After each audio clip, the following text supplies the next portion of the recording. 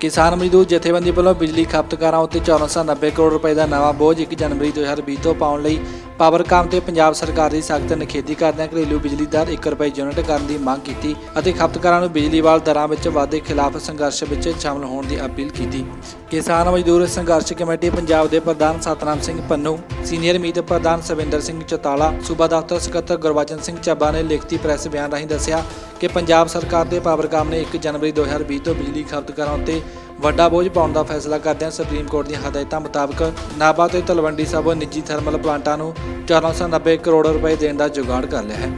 ਕੁਝ ਹੋਰ ਨਿੱਜੀ ਕੰਪਨੀਆਂ ਵੱਲੋਂ ਵੀ 1300 ਕਰੋੜ ਰੁਪਏ ਲੈਣ ਲਈ ਸੁਪਰੀਮ ਕੋਰਟ ਵਿੱਚ ਅਪੀਲ ਦਾਇਰ ਕੀਤੀ ਜਾ ਰਹੀ ਹੈ।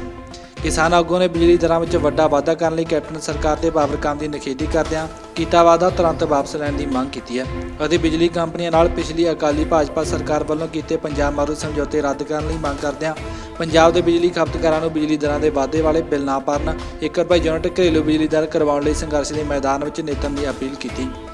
ਕਿਸਾਨ ਆਗੂ ਨੇ ਦੱਸਿਆ ਕਿ ਪੰਜਾਬ ਵਿੱਚ ਇਸ ਵੇਲੇ 9.90 ਪੈਸੇ ਦੇ ਲਗਭਗ ਘਰੇਲੂ ਬਿਜਲੀ ਦਰਾਂ ਦੇਸ਼ ਦੇ ਸਾਰੇ ਸੂਬਿਆਂ ਵੱਲੋਂ ਵੱਧ ਨੇ। ਉੱਥੇ ਬਿਜਲੀ ਕੰਪਨੀਆਂ ਨਾਲ ਕੀਤੇ ਸਮਝੌਤਿਆਂ ਤਹਿਤ ਹਰ ਮਹੀਨੇ 500 ਕਰੋੜ ਪਾਵਰਕਾਮ ਨੂੰ ਦੇਣੇ ਪੈ ਰਹੇ ਨੇ।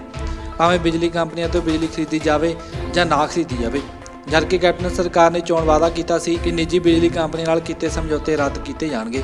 ਪਰ ਸਿਤਮ ਦੀ ਗੱਲ ਹੈ ਕਿ ਸਮਝੌਤੇ ਰੱਦ ਕਰਨ ਦੀ ਥਾਂ ਸਰਕਾਰੀ ਥਰਮਲ ਪਲਾਂਟ ਬੰਦ ਕਰਕੇ ਨਿੱਜੀ ਬਿਜਲੀ ਕੰਪਨੀਆਂ ਨੂੰ ਫਾਇਦੇ ਪਹੁੰਚਾਏ ਜਾ ਰਹੇ ਨੇ ਤੇ ਵੱਡੇ ਪੱਧਰ ਤੇ ਦਲਾਲੀ ਖਾ ਕੇ ਖਪਤਕਾਰਾਂ ਦਾ ਕਚੂੰਬਰ ਕੱਢਿਆ ਜਾ ਰਿਹਾ ਹੈ। ਜੋ ਬਰਦਾਸ਼ਤ ਨਹੀਂ ਕੀਤਾ ਜਾਵੇਗਾ ਤੇ ਸੰਘਰਸ਼ ਦੀ ਰੂਪਰੇਖਾ ਉਲੀਕਣ ਲਈ 27 ਦਸੰਬਰ ਨੂੰ ਸੂਬਾ ਕੋਰ ਕਮੇਟੀ ਦੀ ਮੀਟਿੰਗ ਕੀਤੀ ਜਾ ਰਹੀ ਹੈ। Bureau report, Awaaze Qaum TV